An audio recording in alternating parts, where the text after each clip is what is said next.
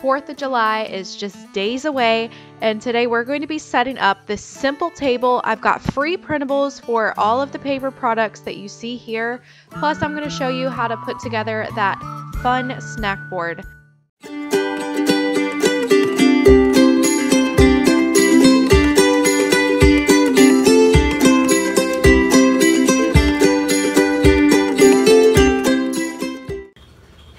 Welcome back to my channel. I'm Sarah Beth Campbell, the content creator here at Southern Meets Mennonite, and I have my three girls with me today. This is Courtland, Ansley, and Anna Kate. Let's go ahead and get started on building our board. Before we start building our board, I'll give you a little overview here. Starting with the tray, I like to use something with sides, and because this isn't technically food safe, I just lined it with parchment paper down below. I like to lay out my bowls first because that just helps me make it eye appealing. I'm using some ramekins that I found at Dollar Tree, a nice accent bowl, and those bowls in the back I had already had from Walmart. So I just like to arrange those on the board like I said and then I fill it in with the little pieces.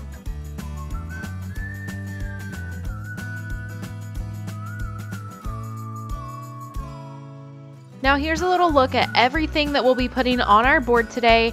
It's mostly all store-bought with the exception of a few things that I had on hand. Now here's the meat and cheese that I've used. Keep in mind this is going to be the most likely expensive item on your board. So I kept it simple with some sharp cheddar, mozzarella pearls, and some spreadable brie, as well as that variety pack of meat there, which was super cheap.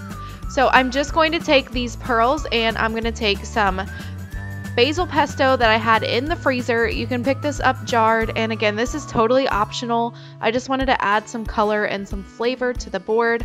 Just a couple spoonfuls is all you need. Stir it around and let it sit, and you can load it up on the board. Next, you want to have a good lineup of some salty things. I've got chips, popcorn, crackers, and nuts. I wasn't able to fit the chips on, but you totally can do that instead of any of these other items. I just picked up my favorite crackers and some good flavors, some almonds, and I've got a jar of salsa that I had on hand, but feel free to get any kind of dip that looks good to go with any of your salty stuff.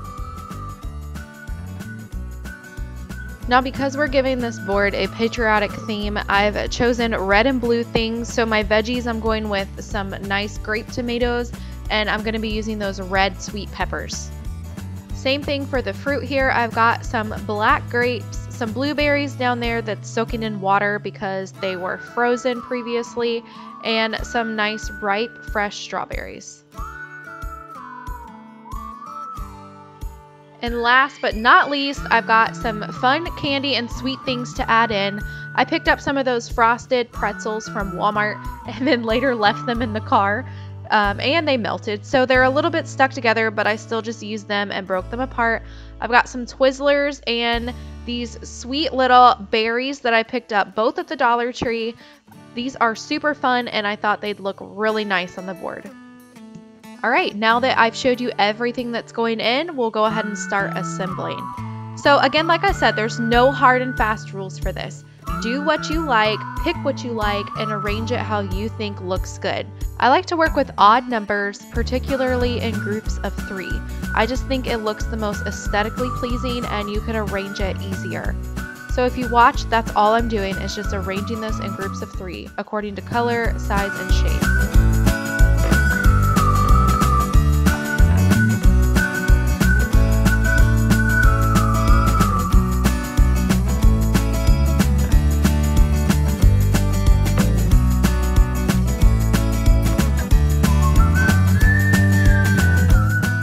I mentioned this before, but it does bear repeating. Arrange your big items first. Things like your cheeses and your bowls and your meats. I always like to do that first, and then I can go back with the little things and just fill in all the spaces.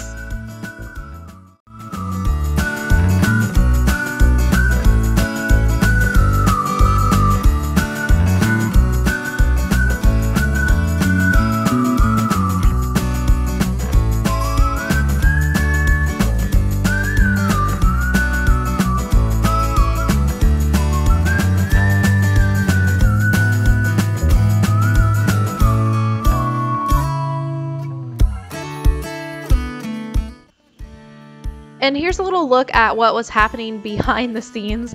Courtland went into the pantry and dumped almost an entire box of Cheerios out, and then was her own human vacuum to clean them up.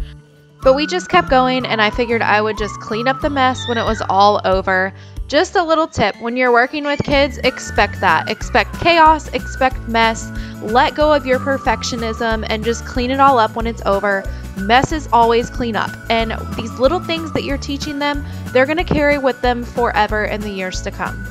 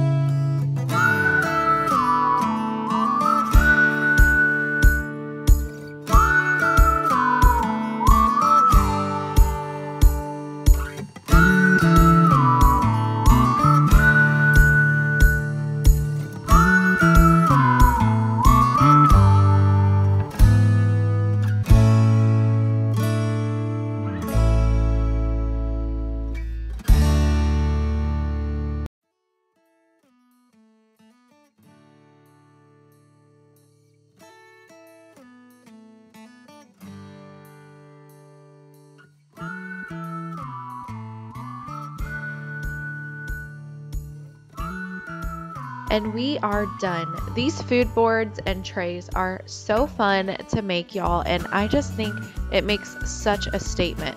I love serving these because people just gather around and keep picking and eating and picking and eating, and it invites great conversation at get togethers. Moving on to our printables today.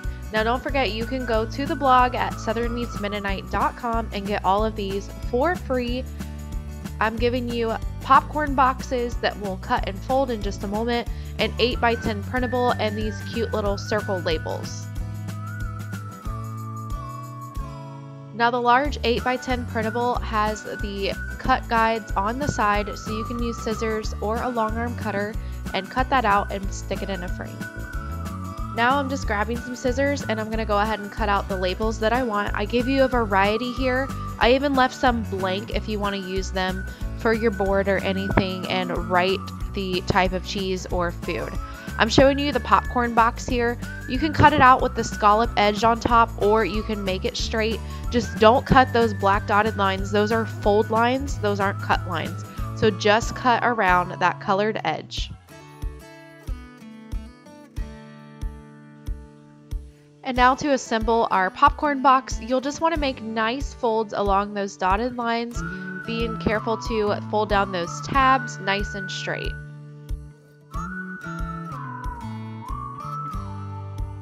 And once everything is folded, I'm just to grab some of my Tombow adhesive. This is great if you're a paper crafter you just put a little tiny line on, less is more here, and if you let it sit for a few seconds, it gets nice and tacky and sticks right away. I'm only putting adhesive on the tabs, that's the only part you need to glue together. So what I do is I attach all the sides to those bottom tabs and then that last one, when I attach it to the bottom, I tuck in the side flap as well. Give it a good squeeze and let it sit for a few minutes to dry before you start filling it with anything inside. And now to attach these labels, I've made them the right size to go on the front of the boxes. So I'm using a three-dimensional sticker. You can just use regular tape, but it does give a cool little finish to have that sticking up from the box. I'm going to fill it with some crinkle paper that I picked up at the Dollar Tree. I keep this on hand a lot and I visited the fireworks stand and I just grabbed some sparklers, some snappers, and I also picked up glow sticks and bubbles for the little people. Now here I'm showing you an alternate idea that if you didn't want to fill this with fireworks or toys, you could use it for popcorn or peanuts and make your table so cute. Here's my finished product with all the fireworks and goodies for the kids. This is going to be so fun and I can also bring it along to the tailgate for the fireworks show. Now if you wanted to add a little pizzazz to your board, you can use those same circle labels. I just attach them to toothpicks with washi tape Super simple, spread them out on the board. Don't forget I included blank ones if you want to write any names of what you're serving in there too. So here's a final look at all of this together. I'm so happy with the way it turned out. You'll see my big 8x10 printable in the back, some straws I picked up from Dollar Tree, the plates and napkins are Pioneer Woman from Walmart, and that easy centerpiece is three star balloons, three pinwheels, and a burlap bow, all from Dollar Tree, just stuck in a metal vase. On the front, I have a bunting. It's made of burlap, and I also picked that up from Walmart too. So this is really easy, really quick to throw together, guys. I hope you like the end result as much as I did, and I hope you enjoy celebrating with your friends and family. That's it for today, y'all. Thank you so much for watching. Mm-hmm. If you liked what you saw, do me a favor, hit that like button and then go over and subscribe so you can stay up to date on everything that we post. Now don't forget to go to southernmeetsmennonite.com today and get those free printable labels so that you can use it to decorate your table. Special thanks to my assistants today, girls. You did an awesome job. High five. High five. High five. They've taste tested everything, so we're gonna go and dig in. All right, guys, can you tell them happy 4th of July? Happy July. Happy July. See you next time. See you next time. See you next time. Bye. Say bye-bye.